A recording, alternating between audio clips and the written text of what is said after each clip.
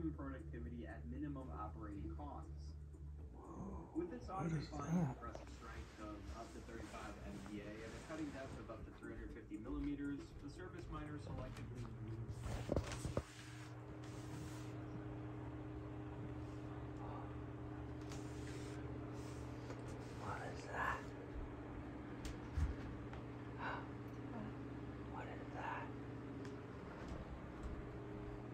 Ah!